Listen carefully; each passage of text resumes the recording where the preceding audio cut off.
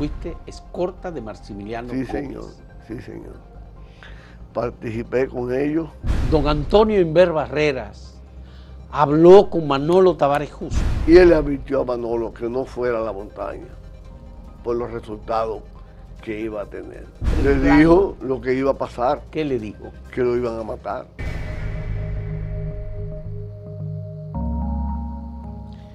La tradición democrática de la República Dominicana, de su juventud, es una tradición ejemplar con mucho sacrificio y con gente muy discreta que no ha querido ofrecer, no ha querido dar testimonio de su participación en procesos políticos. Pero allá alguna gente comienza a hablar. Y nosotros tenemos la suerte, y lo agradecemos infinitamente, de contar en esta ocasión con Orlando Sánchez Díaz, un hombre de una tradición democrática, perteneció al movimiento revolucionario 14 de junio, fue un joven antitrujillista y luego perteneció al movimiento popular dominicano, amigo cercano de Maximiliano Gómez el Moreno, primo de Guido Gil Díaz y un hombre de una historia importante porque además de haberse vinculado muy fuertemente con Manolo y con el 14 de junio, estuvo en la zona norte de la capital de República Dominicana en 1965, defendiendo la soberanía nacional y cuidando su propia vida de la, de la operación limpieza que se hizo allí, que fue un crimen de lesa humanidad. Orlando, muchas gracias por aceptar este diálogo. Yo sé que usted es un hombre de pocas palabras o que no le gusta el protagonismo de los medios. No se trata de eso. Estamos recopilando testimonios sobre los esfuerzos, la dedicación y la lucha democrática del pueblo dominicano. Y me gustaría primero comenzar por tu participación en el proceso eh, del 14 de junio de las escarpadas montañas de Quisqueya, de Manolo Tavares Justo, y esa playa de, jóvenes profesionales, una gran parte de ellos, abogados, médicos, ingenieros, que se fueron a las montañas con Manolo, Productores agropecuarios. productores agropecuarios, ¿qué estaban buscando? Fausto, darte las gracias por la invitación. No me podía negar porque la que sugirió fue mi hermana Carmen Mazara. Pero además, felicitarte y exhortarte que siga, porque es haciendo historia que está Ya, y aclarando muchas cosas. qué bueno. Bueno, empezando, yo vengo de una familia de tradición democrática, vegana. Mi mamá, María Díaz Fernández, primer hermano de Manolo Fernández Mármol. Fue chinda, le decían. Participó militantemente en la Juventud Democrática en La Vega. Inclusive tenía una célula que la formaban Cookie Córdoba, que murió, Cuqui Córdoba, que hubo Sí. que sacarlo del país en esa época, porque era jovencito. periodista deportivo Sí. importante. José Delito Guzmán, José Delio Guzmán, José Delito, hijo de José Delio, hijo de que José vivían Delio. en La Vega en esa época. Estamos hablando de 1946. Ya. Yo tendría cuatro años. Sí. Y Mercedes Carretero Gómez, Cucha, Macucha le decíamos, tía de Carlota Carretero. Y y tenían una célula. Inclusive mi mamá fue, estaba vigilada. Y Cheche Pérez, papá de Rafa Pérez, el papá de Rafael Pérez Modesto. Trabajaba en una zapatería enfrente a mi casa. Y fue a beber café en mi casa. Y le dijo, doña Chinda, tenga cuidado, porque fulano llegó allá y es para vigilarlo a usted. Oye, A ella. sí. Bueno, vinimos a vivir a Santo Domingo, a la capital, en 1955. Ahí en la- a vivir, donde estaba Papa La Pasta, en Doctor Valle. Para la pasta, sí. Como veníamos de una familia democrática, Guido Gil Díaz, mi, mi primo hermano, trabajaba como corresponsal del Caribe en el Palacio. Cubriendo como reportero. Como reportero. Reportero. Sí, sí, sí. Cubriendo el Palacio Nacional. Correcto. Y estudiaba Derecho. Y estudiaba Derecho. Tanto así que lo ayudaban en la inscripción. eh, Trujillo, Balaguer, sobre todo. A él e Isodoro Sánchez. Ya. Isidoro Sánchez. sí. Comentábamos siempre la situación. Entramos a participar en, la, en el movimiento clandestino. Ya. Nuestro contacto fue Da- Darío Solano, que para descanse. Darío Solano. Un gran hombre, maestro. Maestro, sí. Hubo un accidente automovilístico Sí, en la 27 sí, de febrero. Sí, correcto. Sí, saliendo de una panadería. Sí, sí, un motor, un un moto- motor. Exactamente, sí. Guido estaba muy preocupado porque él decía, si me agarran, me matan. Sí, Guido Porque- Gil, sí. Sí, porque van a decir que yo estaba sacando informaciones. Pero Darío se asiló en la embajada de Argentina con la Valera Benítez. Y ahí se, Con Cheche, Rafael Valera Benítez, sí. cuando llega la, la apertura, entramos a trabajar en lo que le llamaron la infraestructura el 14 de El junio. 14 de junio. Si tú no fuiste de los jóvenes que entró a, a la Unión Cívica, No, ni no, nada no. de eso, porque muchos Sí, jóvenes claro, yo- decidieron Firmamos la carta de, de- de- de renuncia del Partido Dominicano. del Partido Dominicano. Sí, no, pero yo Eso- era. del pero era 14. saliendo Correcto. formalmente del Partido Sí, sí, Dominicano, sí, sí. que Era- se disolvió Sí, correcto. ya, ok. Y, y que sus propiedades pasaron a ser propiedades del Estado. Sí, correcto. Bien, Entonces entramos en, en el 14 de junio. Después de la guerrilla, eh, me, me designa como miembro de la Comisión de Organización del Distrito Nacional, que la coordinaba Rafael Baez Pérez Cocuyo. Cocuyo, sí. Ahí estaban compañeros como Jerry Acosta, que recién fallecido, Freddy Domínguez, que para descanse, hermano de Asdrúbal, el hermano de Gustavo Sabater, Carlos Sánchez Córdoba, eh, Licky Florentino, Fritz Abreu y Pedro Lora. Nos tocaba orga- reorganizar en la parte norte a nosotros, a Cucuyo y a Freddy y a, a- a- a Carlos Sánchez Córdoba el 14 de junio en esa zona. A mí me corre- correspondió a la Sánchez La Fe, eh, Radio Televisión Dominicana por ahí, la Juan de Esa Morfa, zona, con sí, Tunti Cáceres. sí. Pero los fines de semana me designaron entonces ir a Vallaguana, Monteplata, Yamasá, a reorganizar eso. a reorganizar. Eso fue después de, noviembre. después de la Después de la guerrilla. de noviembre, diciembre Sí, de Sabe que- 1963. fue un golpe duro para nosotros, Ya. porque fue el líder democrático más grande que había en ese momento dado la República Dominicana, Ya. Manuel Aurelio Tavares Justo. Me siento orgulloso de pertenecer a esa generación llamada Manolo. Ya. Este proceso, por supuesto, que comprometió a mucha gente que entendía que eh, Manolo era un líder que tenía la posibilidad de participar en un proceso electoral y hasta ganar unas elecciones. Sí, Pero el 14 de junio fue enemigo del proceso electoral desde temprano. No participó en las elecciones, emitió un documento diciendo que no, eh, que los catorcistas no iban a, a- a ir al proceso electoral en donde Bosch resultó electo presidente. Pero después se fue a la montaña a defender el resultado de esa elección. no solo eso, que la gran mayoría votamos entonces. Los catorcistas votaron, Votamos, deso- votamos. desoyendo la orientación No, de su partido. Las contradicciones se agudizaron entre cívicos y, y PRDistas.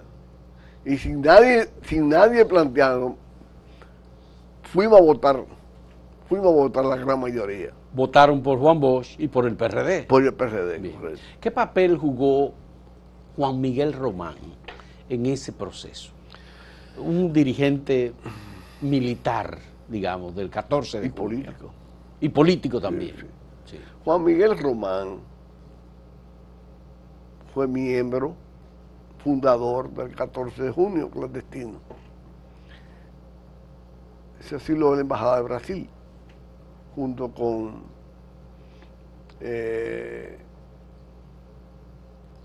un grupo de compañeros que decidieron hacerlo. ¿En qué año se asiló en la Embajada de En el Brasil? 60, Ya, en el 60. En el 60. Sería febrero, marzo. ya, bien.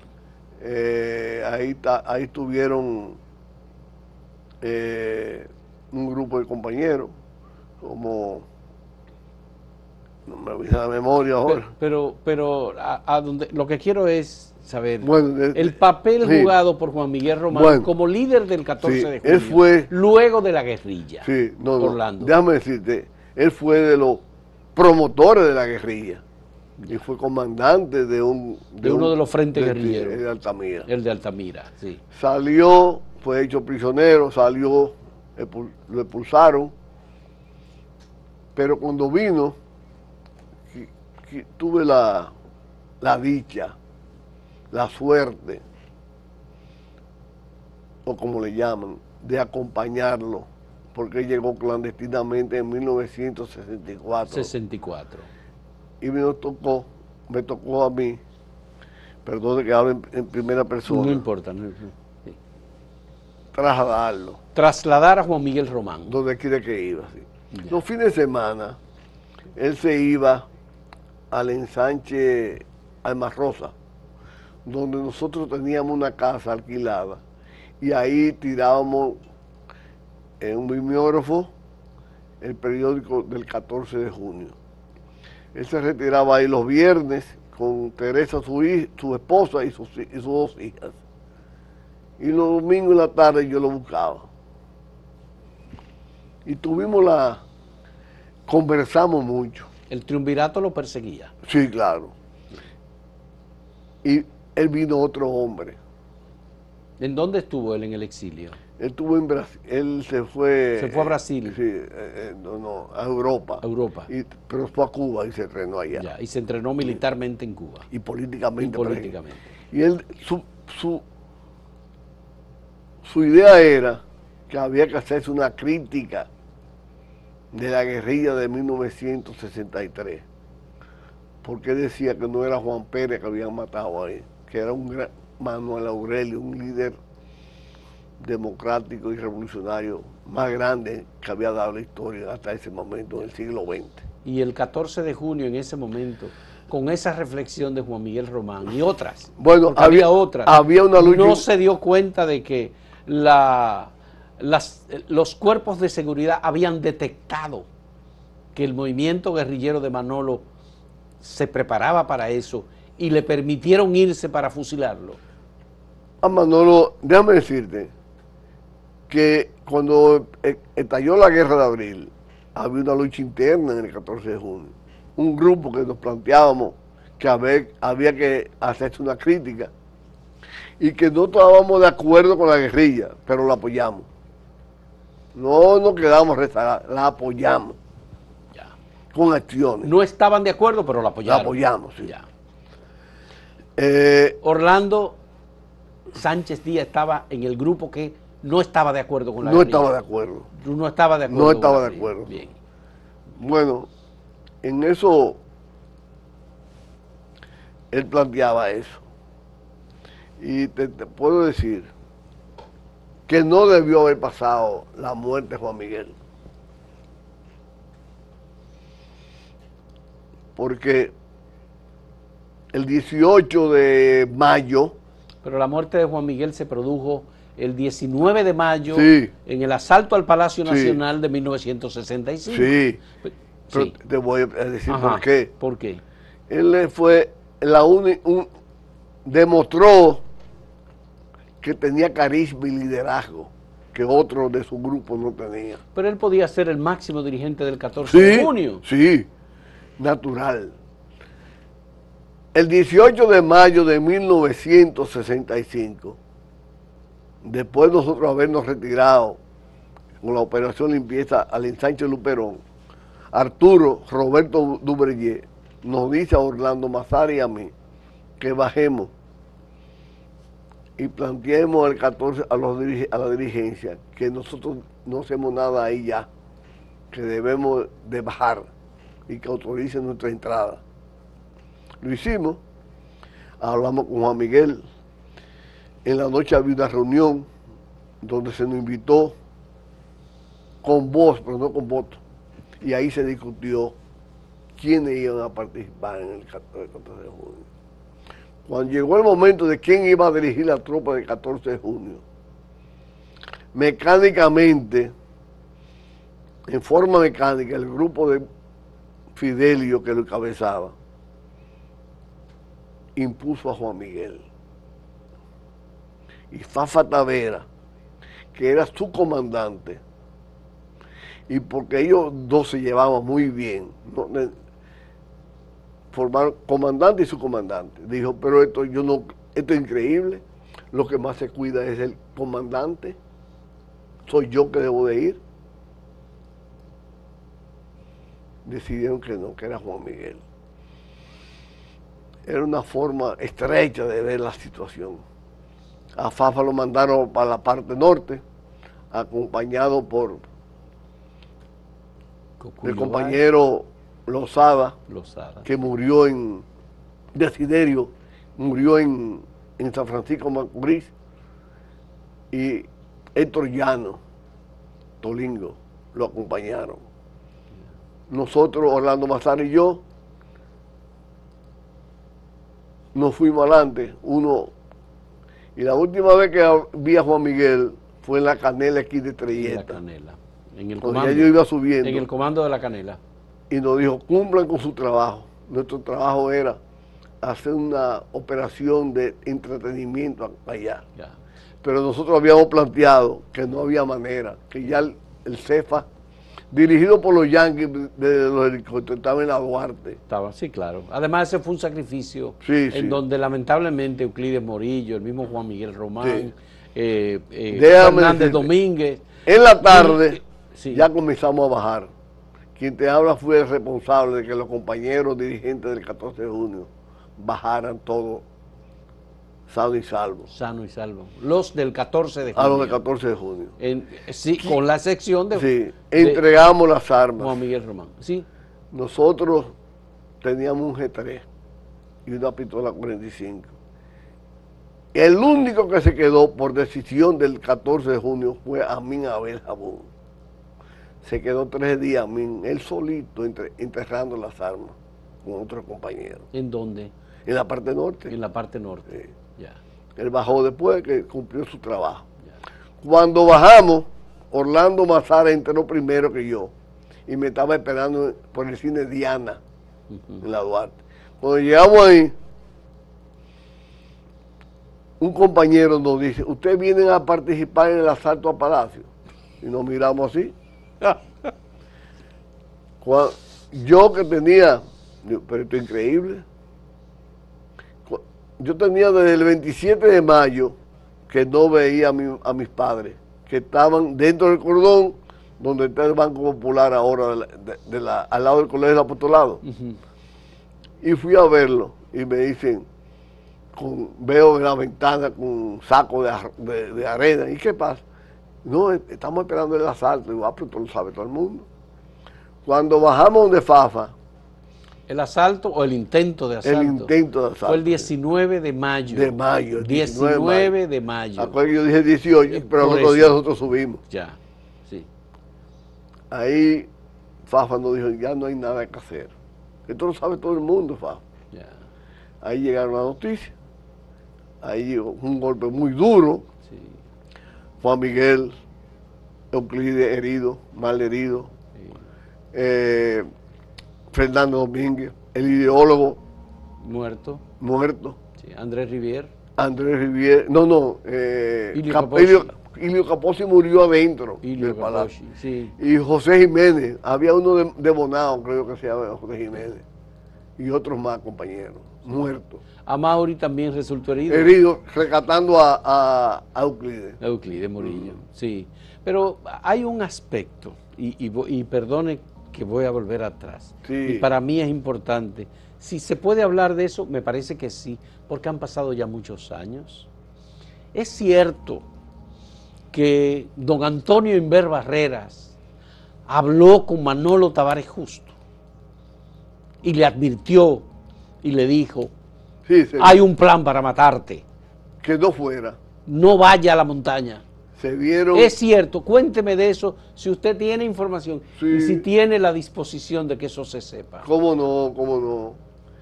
Tú sabes que general Inver Barrera un hombre historia y manejaba las contradicciones no personales, sino políticas. Y él le advirtió a Manolo que no fuera a la montaña por los resultados que iba a tener.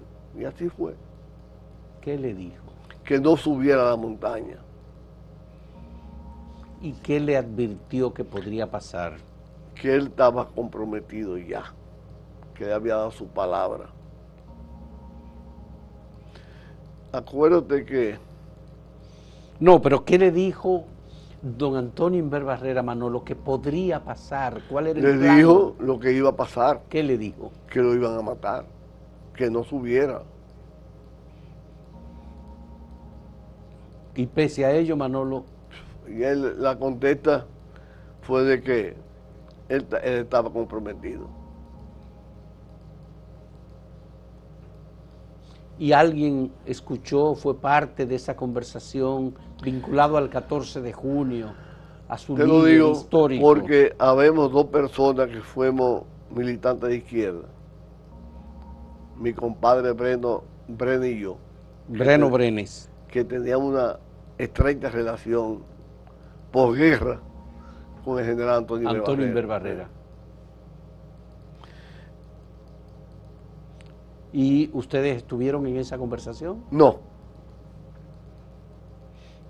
¿Y cómo lo supieron? él no, no lo dijo.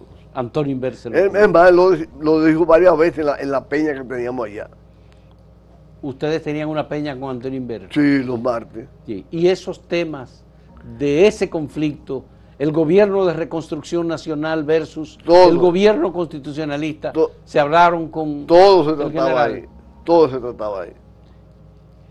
Se discutía. Se discutía. Porque eran experiencias que decíamos todos para que no volvieran a suceder. Ya.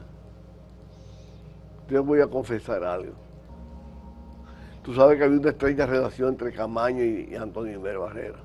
Hubo una estrecha relación. La tenían. Ya. Pero la tenían por don Fausto o la No, tenían no, ellos dos. ellos dos. Acuérdate que Antonio Inver Barrera fue el que acompañó por petición de Juan Bosch de que cuando lo iban a sacar del país. Sí. eh, Antonio Inver Barrera lo acompañara. Que con esa condición él salía. A Juan Bosch. y Antonio Inver Barrera, el general Antonio Inver Barrera, eligió quién lo iba a acompañar. Entre ellos estaba Francisco Alberto Camaño Deño. Escogió a Camaño. Sí. Es decir, que ellos tenían algún tipo de relación, conocimiento, amistosa, porque mm, Inver Barrera no era un hombre del aparato militar. No, Fue convertido a militar por ley, por Para- su y participación para protegerlo. en el magnicidio, para protegerlo. Sí, es decir, no era un hombre de carrera militar. Correcto, correcto. Creo que eso es importante Sí. que se sepa, ¿no? Sí, correcto, correcto. Ya. Y esa amistad de Francis Camaño y Antonio Inver, los dos fueron presidentes, cada uno de un llegaron lado. a conversar, ¿eh? Conversaron. él y Camaño, de reunirse donde está, donde está hoy tu- eh, el Ministerio de Cultura, ¿eh? Para resolver problemas dominicanos entre nosotros, al margen de los de, lo- norteamericanos. de los norteamericanos. Pero ya los norteamericanos estaban aquí Estaban aquí ya. y no estaban apoyando a Antonio Inver. Eso era ya te- terminando la... Ya se estaba, se estaba negociando.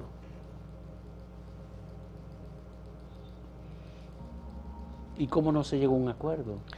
Porque hubo una persona dentro del gobierno de nosotros de, que alertó eso. O, o- o- o tomaron, la- los de inteligencia, tomaron la conversación y evitaron eso. Y esa persona evitó... Mira, ahí Antonio Inver y Camaño. Ahí están Camaño y Antonio Inver Barrera Sí, caminando. Sí, sí. Camaño incluso con un fusil. Con un fusil, sí. Es posible que ese día fue que acompañaban a Juan Bosch a- acompañando a Juan Bosch al exilio ya. Eso fue después del golpe de Estado. después del golpe de Estado. sí. Bien. Vamos a hacer una pausa. ¿Cómo es no? importante. Orlando, lo que me acaba de No. decir. Me puedes preguntar lo que tú quieras, que, que tengo buena memoria. Fafa y Cucuyo me llaman. ¿Cómo fue esto? Ya. Muy bien, vamos a hacer una primera pausa en ¿Cómo este no? Mm. diálogo con Orlando Sánchez Díaz, agrónomo, revolucionario y demócrata, un hombre veterinario. veterinario. Volvemos en un momento.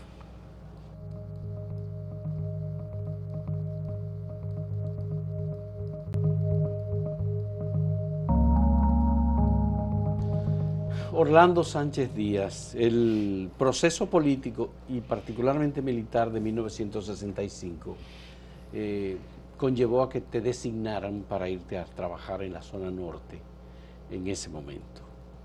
La zona norte fue una zona de, ignorarla primero, pero además de muchos combates, allí estaban, eh, eh, allí estaba eh, personas como Cucuyo Báez, allí estaba Roberto Duvergé, allí estaba Niana Vargas, Y Belisa Acevedo, y Belicia Acevedo, Orlando Mazara, y Orlando Mazara. Oscar Santana, Oscar Amin Santana. Abel, Carlos Sánchez. Óyeme, Entonces, eh, entonces, Orlando, a ti te tocó irte a la zona norte. sí.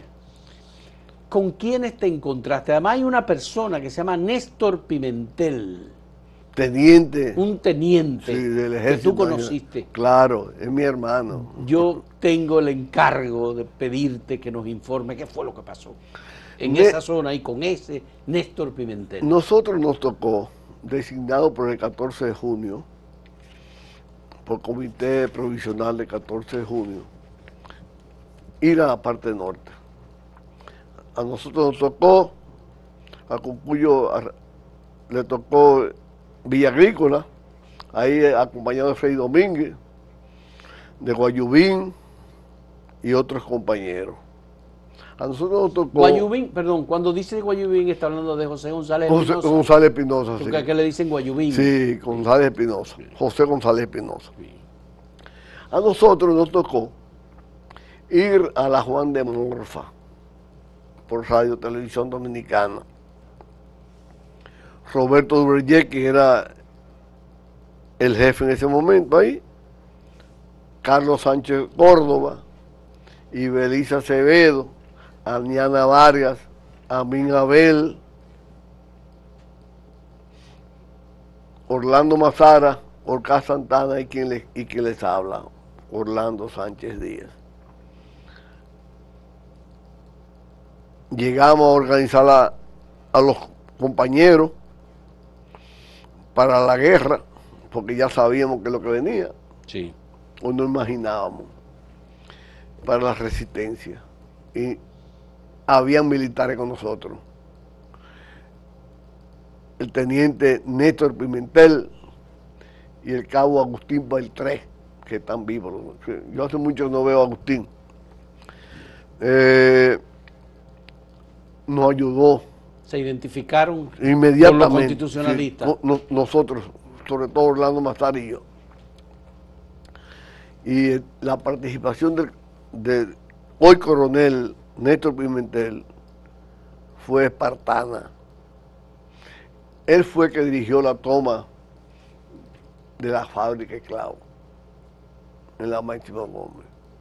la fábrica de clavos. Y participó con nosotros en los combates en el cementerio de la Máxima Gómez. Lo del cementerio fue una acción de película, como dice.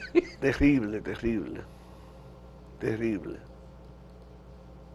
Él es, es teniente coronel, coronel retirado ahora. Tengo tiempo que no lo veo. Pero es un- una persona que siempre estuvo con nosotros, eh, solidario con nosotros, después de la guerra, con Carmen. ¿Me puede mencionar los gestos y las acciones que Néstor Pimentel emprendió delante de ustedes? Él participó con nosotros en todo. fue un aliado de nosotros el 14 de junio. Y nunca dijo no, yo sigo aquí. Igual que ese cabo, Agustín Beltré. Después trabajaba en... Agustín Beltré. Después trabajaba en, en, la, en, el Codetel. Y después tenía un, una tienda de repuesto por ahí donde están los bomberos de la, de la Kennedy, por ahí. Y en la zona norte ustedes se enfrentaron a las tropas del CEFA, a la Fuerza Aérea o a los norteamericanos. A las tropas del CEFA. Fíjate, ellos intentaron entrar por el Cucuyo y, y, los repelimos. ¿Por Villas Agrícolas? Sí, ellos, ellos estaban buscando a ver dónde nosotros éramos débiles. Y por donde estaba el Blanco Peña, por ahí por eh, donde está la Javilla, y, fueron repelidos. Entonces decidieron entrar por cementerio y su fortaleza, que eran los tanques, no podían entrar. No podían entrar al cementerio. Entraron sin tanque y ahí estuvimos de tumba a tumba, combatimos con ellos. Por el lado constitucionalista, ¿quién dirigía a los hombres? No, ahí estábamos todos. Ahí estaba Amin. Amin tuvimos que sacarlo porque él no quería salir. Amin Abel. Y, y, con el cabo Beltré, yo tuve que echar un coño. Váyase. Y dije al cabo, llévelo. ¿Y todos ustedes estaban armados de fusiles? Fusiles. ¿Fusiles? no había nadie que era con una pistola, con un revólver. Había con pistola y había gente desarmada. También. Esperando que te tumbaran a ti para ellos coger el fusil, porque era así la cosa, Fausto. Habían, habíamos quizá armado, pero 30 o 40 gente esperando. Eso era increíble, Fausto. Y fue una lucha cruenta ahí en el cementerio, tanto de ellos como de nosotros. Tengo entendido que en el cementerio hubo muchos muertos. Muchos muertos, sí. Eso es verdad. Y todo el que estaba ahí adentro era combatiendo y esperando que cayera uno para coger el fusil, levantar el fusil. ¿Y por qué el nombre de Pimentel, Néstor Pimentel, no se ha mencionado, no se le ha, no hay fotografía suya? Del eh, combate del cementerio por ejemplo, en los archivos fotográficos que he buscado no he encontrado. ¿Qué pasó con, esa batalla? No le gustaba el protagonista. De mí, mío, hay dos o tres eh, fotos, no más de ahí. Porque no me gustaba. Yo me acuerdo que fueron unos mexicanos, unos periodistas mexicanos, a entrevistar a, Roberto y Arturo, ahí en la Juan de Morso, que era una casa donde vivía Juan, eh, que la tenía alquilada Niana. Y él quiso que yo fuera, participara. Yo no, yo no. No, no quise. Ahí participó Orlando y a mí, pero yo no. A mí no quiso tampoco. A mí no quiso. Mm. Y luego tú te integraste al movimiento popular dominicano. Yo quisiera. Bueno, resulta que después de la guerra, ya. Eh, nosotros fuimos designado comandante de una brigada, de una móvil, unidad móvil, además asistente del comandante en jefe, compañero Fafa Tavera, después que murió Juan Miguel. Y después vino la lucha interna,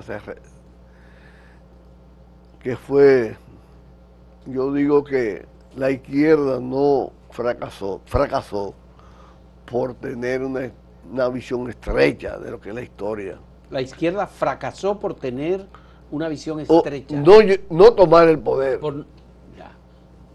es que no pudo tomar el poder. No pudo, no pudo. Nosotros poníamos la sangre y otros cogían el poder. Nos fuimos a la MPD por la lucha interna que había el 14 de junio, de quién era el, la vanguardia. ¿Qué te parece con los yanquis aquí, nosotros discutiendo cuestiones ideológicas? Y no movilizándose, porque necesariamente no podíamos nosotros enfrentarlo ya con las armas, que lo enfrentamos, ¿eh? porque es bueno que te sepa que el 15 de junio el general Palmer dijo que iba a ocupar a Ciudad Nueva en seis, la, la zona constitucionalista en seis horas. en seis horas. Y nosotros, tú sabes que cuando te acorralan, tú no tienes para dónde coger. Hay que pelear obligado. Además, con un llamado del presidente Francisco Alberto Camaño Deño de que no se diera una pulgada más de terreno. Ya yo había ocupado varias cuadras, pero le faltó sorpresa y lo paramos en seco.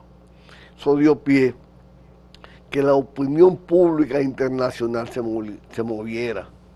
En la ONU, en la ONU, el presidente de Gaulle le dio instrucciones al embajador francés en la ONU que no se moviera de ahí hasta que no se resolviera la crisis del 15 y 16 de junio de 1965. Y tuvieron y lo paramos en seco.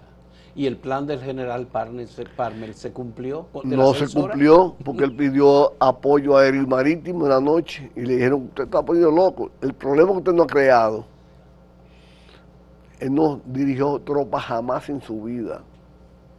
Fracasó aquí. Entonces vino la posguerra y vinieron las divisiones. Nosotros nos fuimos al movimiento popular dominicano donde Maximiliano Gómez fue el único capaz de ver la cosa, donde decía que había que estudiar la historia dominicana y las condiciones aplicarla a la historia dominicana. Aplicarla a la historia dominicana. ¿Cómo fue, cómo fue tu relación con Maximiliano Gómez? Muy estrecha. No me arrepiento, yo fui su escolta. Tú fuiste escorta de Maximiliano Gómez. Sí, señor, sí, señor. Participé con ellos en conspiraciones en la casa de, de Guarro Liranzo. ¿Es verdad lo de la reunión en la casa de Guarro Liranzo? Sí. Porque hay mucha gente que ha dicho, no, eso no, puede ser. Sí, ahí estaba José Francisco. José Francisco Peña Gómez. Maximiliano Gómez. Guarioné Lluvere. Guarioné Lluvere. Maximiliano Gómez. Maximiliano Gómez. Otto Morales. Otto Morales también. Augusto Lora. Y Francisco Augusto Lora. Que era primo de mi mamá. Y, y, ya. Y, en esa reunión tú fuiste como escolta de Maximiliano Gómez. Sí, correcto. En la casa de Guarón Con un, un, equipo. Era la misma casa de la López de Vega. Sí. La misma, ¿verdad? te voy a hacer una anécdota. Guarón Liranzo pregunta que, que faltaba una persona ahí. Sí. Y le dice, ¿quién? Pedro Rivera. Ah, es que el nombre no me lo habían dado. Era Pedro Rivera que faltaba. Y me, envían a mí, vaya usted, me dice, vaya usted va de parte mía. Yo voy, ubico a, Pedro Rivera en, Naranjal y le digo a qué voy. Y él me dice, yo te conozco a ti. Tú eres hijo de un amigo de fulano de tal, muy amigo. Y ahí mismo de La Vega muy amigo de mi suegro, y era verdad. Resulta que tú no has estado aquí ni me has visto a mí. Se resulta. No nos hemos visto. Yo me quedo anodadado. Segundo, pero parece hora. Digo, ay María Santísima. Cuando me voy, me monté en el carro de un compañero. Pero oye lo que te voy a decir. Si te sientes en peligro, arranca para acá y Pedro Rivera me protegió dos o tres días. ¿Y qué se pactó en esa reunión en la casa de Guaroaliranz? Llegado a, acuerdo conspirativo. ¿Tú sabes por qué se produce la muerte de Julio Guzmán y, los ocho balazos que le dieron a, a, don José Delio? Eso fue en Bonao, eso fue un atentado. Eso fue aquí. Fue aquí en la capital. Porque estaba Juan Bosch y Guaroa en esa casa.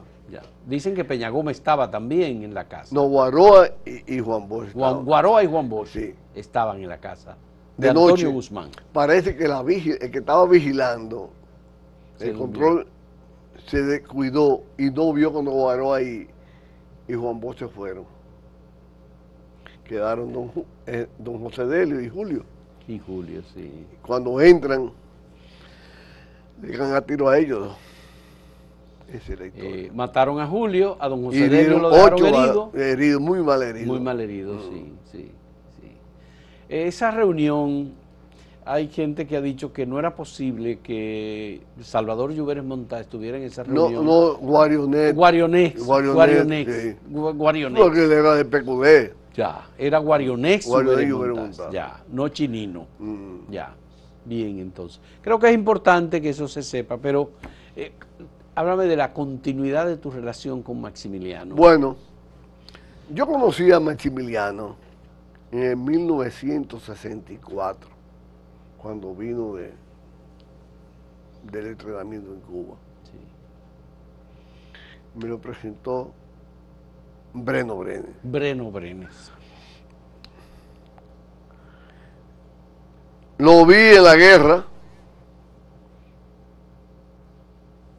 varias veces, conversamos. Yo, yo asistía al precongreso del Movimiento Popular Dominicano. Ya yo era, yo era catorcito todavía, del 14 todavía. Entonces, en el 67, cuando, cuando nos vamos del 14 de junio del Movimiento Popular Dominicano, yo tuve una retirada porque me planteó algo que no debía haber sido, que era mandarme a Arenoso. Arenoso, de Nagua, de esa zona. Y a mí a ver, me dije, no vayas, que te van a matar, tú eres un blanquito. Y te... A mí te dijo eso. Y después tuvo él allá. Eh, creo que fue en La Vega que a Maximiliano Gómez le dieron un machetazo. No, en Nagua. En Nagua fue, en esa zona también.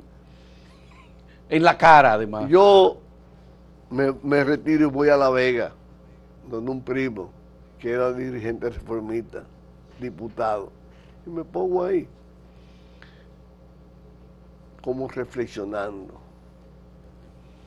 Cuando veo siguió la situación. Digo, bueno, yo tengo que hacer algo. Y decidí terminar el bachillerato. Mira tu amiga ahí donde está, Carmen Mazara con Maximiliano, presa por la policía. Me faltaban tres materias desde 1960 sí. para hacerme bachiller. Llamé a mi hermano Gustavo que me consiguiera una prórroga, me la consiguió, presenté los temas y vine a estudiar. Ya. Ahí vuelvo y soy fundador del Flavio Suero. Del Frente Estudiantil Flavio, Suero. Flavio Suero estuvo con nosotros en la parte norte. En la parte norte también, sí, sí, Y después formó parte del comando de, de, Oscar Santana, el Lido. Sí. entonces me relaciono íntimamente con Maximiliano. Lo acompañé. Aquel famoso golpe de Estado que íbamos a ver el 26 de febrero de 1969. A mí me tocaba, nos tocaba, asaltar Radio Guarachita para poner la proclama que la tenía a mí, grabada por Pedro Vargas, Pedro Pérez Vargas. Pedro Pérez Vargas. Se grabó. Se grabó eso. Con Pedro Pérez Vargas. Sí, él tuvo que irse del país después. Después, la contraseña era que cuando pasaba, pasara un, compañero que se llama, que se llama Fefen Curi, era retirada. Frente a la borrachita había una cafetería y ahí estábamos nosotros. Como, pero, ¿tú quién estaba conmigo ahí? Guillén compañero Guillén, que después lo mataron a Pablo. Guillén, sí, sí, sí. Ahí, eso, al pasar FEFEN, nos retiramos. Pero Fausto, nosotros retiramos, llega de un camión de caco negro ahí. ¿Oíste? Eso fue. En la tarde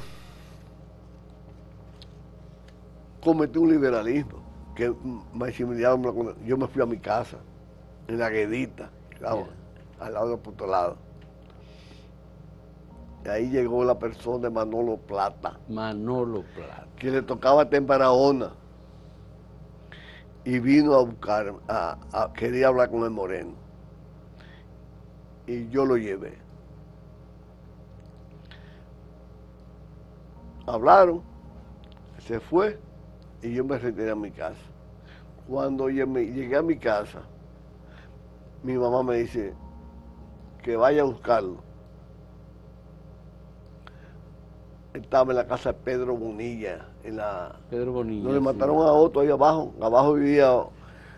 René y un, René hermano, Sánchez Córdoba, y, y un hermano mío, Julio Sánchez Díaz, estaba ahí. en la José Contreras. Sí. Cuando yo fui a buscarlo, me, me hizo una crítica. El Tú Moreno. no podías traer a nadie aquí, ni a Carmen. Tú cometiste un liberalismo. Un liberalismo. Sácame de aquí. Me lo llevé. Él se cuidaba, pero Mm. de todos modos dicen que él fue muy liberal, sobre todo cuando tenía reuniones con intelectuales para discutir temas. Sí. Debo decirte que entonces el Maximiliano que yo conocí en 1964, ya en 1968, 69, era otro hombre. Era otra persona. sí, Era un hombre que había leído los clásicos. los ya. clásicos. sí. Te voy a hacer una anécdota. Aquí hubo en 1968 sí, una conferencia contra el hambre en el Paraninfo de Medicina de la Universidad Autónoma de Santo Domingo. Ahí vino Josué de Castro, soy de Castro, brasileño. y estaba el Sí. papá de los Abelinos, don, el- don Andrés Avelino. Andrés Avelino y Antonio muchos Avelino. Sí, intelectuales. sí. Y a Maximiliano fue que le tocó plantear la posición del movimiento popular dominicano. En esa conferencia. Sí. Yo andaba con él. Ahí había un grupo de profesores, entre ellos estaba mi hermano Gustavo, que, que estaba militando en el MPD. Y cuando bajó, que le pu- eh, en jean, tenis y camiseta, que le puso la posición del movimiento popular dominicano ante el hambre y la hambruna. El, vie- el señor Andrea, el viejo Avelino le dijo, ven acá, ¿a qué te dedicas? Y Maximiliano le contestó, a la difícil tarea de hacer la revolución. Y él le contestó, pues síguelo haciendo, que lo hace muy bien. bueno, El- eh, vamos a hacer una pausa. sí, Vamos a hacer una pausa. La última pausa en este diálogo con Orlando Sánchez Díaz.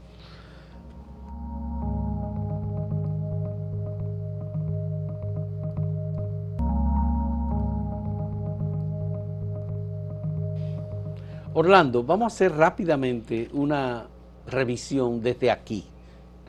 Siglo XXI, año 2023, mes de mayo, mirar hacia atrás y ver el movimiento popular dominicano, la izquierda en su conjunto, Maximiliano Gómez, la táctica Isla Gotró, cómo salir de Balaguer y lo que ha pasado. ¿Cuál es tu lectura del sistema democrático que hemos construido? Esa izquierda, todos esos sacrificios, ¿son parte de lo que disfrutamos hoy?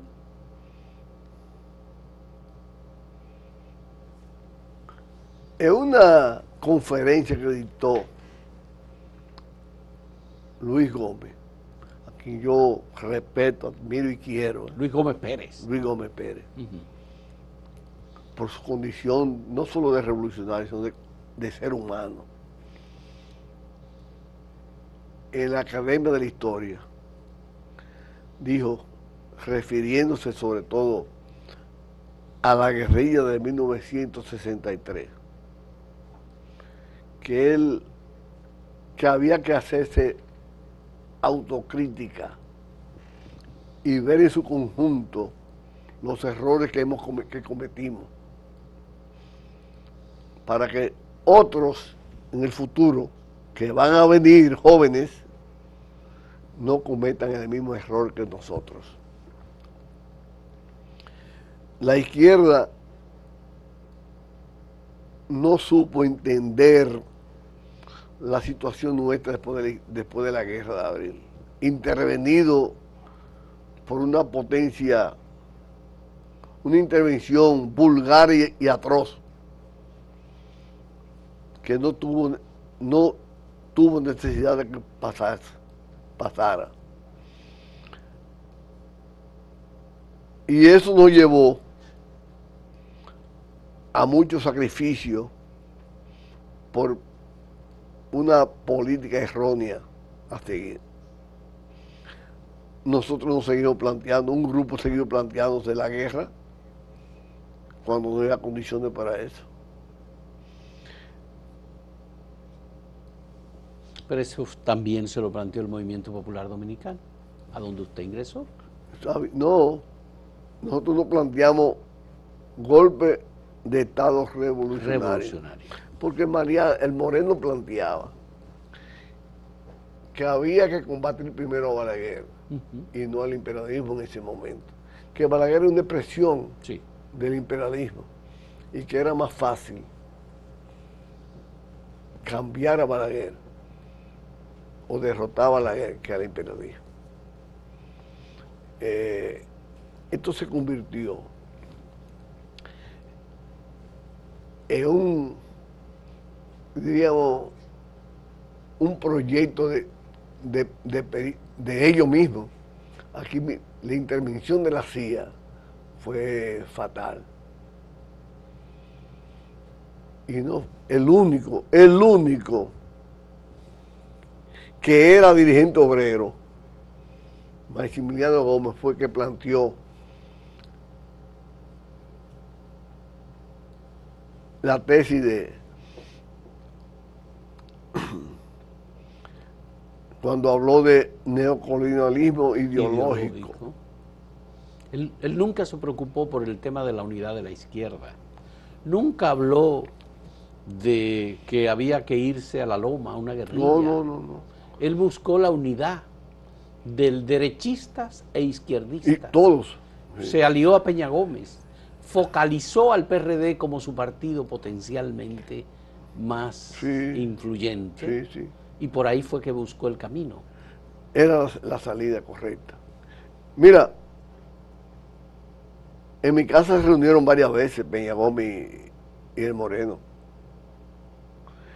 En 1970, Balaguer consiguió que la Junta ordenó, porque le ordenaba, abriera los procesos electorero.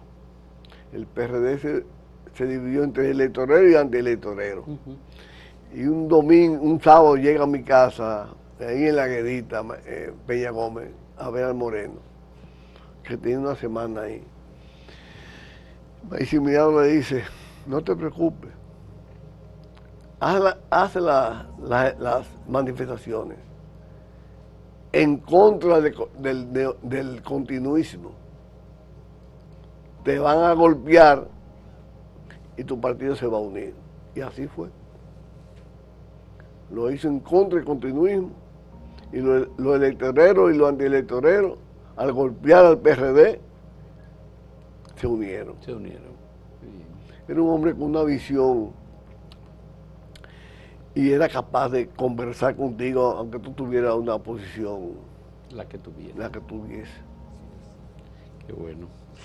Orlando, muchas gracias. Pero debo decirte, para terminar, aún con todos esos errores y sacrificios y compañeros muertos, que yo siempre he dicho que el mayor homenaje que podemos hacer es llevar una ética, una vida ética y moral como reconocimiento a ellos y que aún en esta situación que estamos viviendo, de una democracia muy limitada, donde faltan muchas reivindicaciones económicas y sociales, valió la pena. Valió la pena. Qué bien. Muchas gracias, Orlando eh, Sánchez Díaz, por este testimonio y por estos datos reveladores importantes para mí desconocido, sospecho que para la gran mayoría igualmente desconocido. Creo que es un gran testimonio y es un gran apoyo a lo que hemos ido poco a poco construyendo en este espacio. Gracias a ti, Fausto, y cuando considere el lugar, estoy a tu disposición. Muchísimas gracias. Señores, gracias igualmente a ustedes. Les invitamos a que continúen con nosotros con nuestra programación y con estos temas que vamos a seguir tratándolos. Hasta luego.